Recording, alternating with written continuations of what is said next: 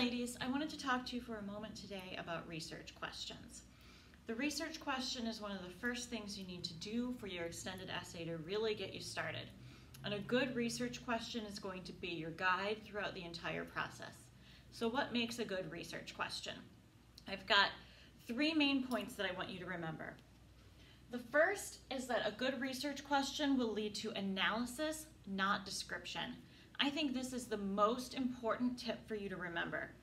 All good high scoring extended essays are going to have um, original analysis in them. You need to be analyzing your evidence, whatever form that takes for your subject, and coming up with your own ideas about your research question. It is not enough to just describe what other people have found and what you have learned in your research. And that is one of the biggest mistakes people make is not having enough analysis. History is a big place where this can um, where this can be a problem for people. They are interested in a historical event.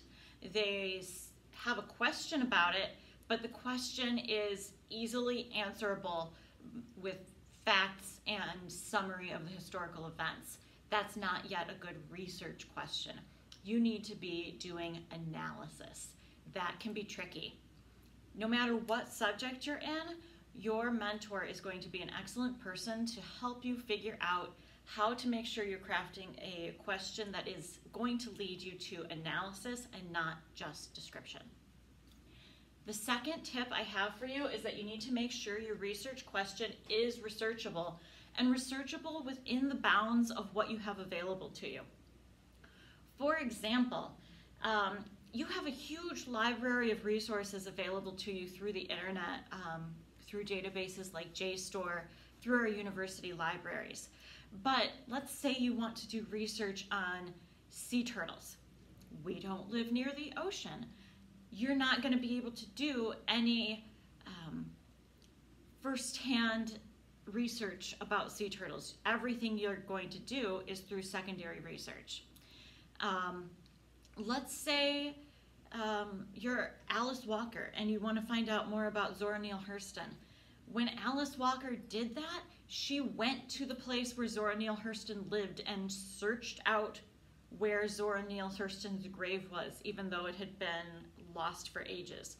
I'm guessing that in your senior year of uh, high school, you are not going to be able to take a research trip. So you need to find a question that's researchable within what you've got. Um, that also applies to things that are too specific. If you want to research um, the perception of all girls' schools in Toledo, Ohio, that's so specific that while you might be able to design an experiment and collect data on that, there's not going to be a lot that's already out there for you. So everything you'd have to do would be um, original research, and that's an overwhelming task. That's probably, again, not something you want to do during your senior year of high school. Manage your time appropriately.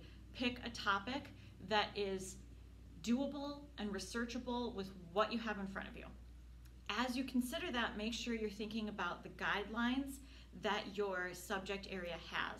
For example, original experiments are strongly encouraged in biology, but um, actually not allowed in psychology. Okay, so making sure that you understand what the guidelines and the rules are for what types of uh, research you do, and making sure you have those resources at your disposal. Don't set yourself up for failure. The third and final tip is that your research question needs to be clear and focused. Anyone reading your research question should have a very um, clear and precise understanding of what you're trying to do and to some degree how you're going to go about doing it. Don't let it be too broad. The Civil War is too big of a topic. It's not a question.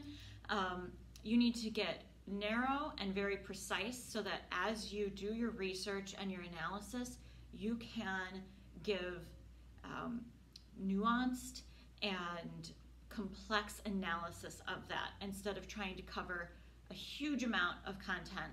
you need to cover a small, precise amount of content and a small, precise question with a lot of depth. If you've got questions about this, please don't hesitate to ask.